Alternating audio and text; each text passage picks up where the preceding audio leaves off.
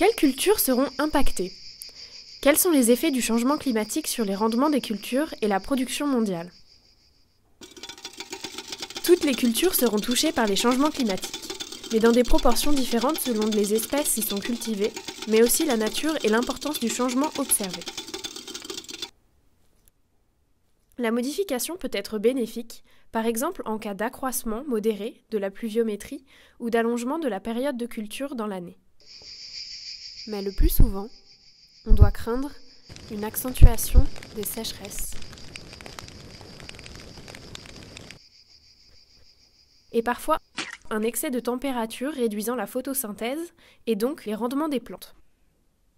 Au niveau mondial, il faut craindre une réduction des rendements moyens des principales plantes cultivées à ce jour dans le monde. Cela peut conduire à une augmentation des prix alimentaires et à une pénurie relative, mais très pénalisante, pour les consommateurs pauvres, notamment dans les pays les plus concernés par ces baisses de rendement.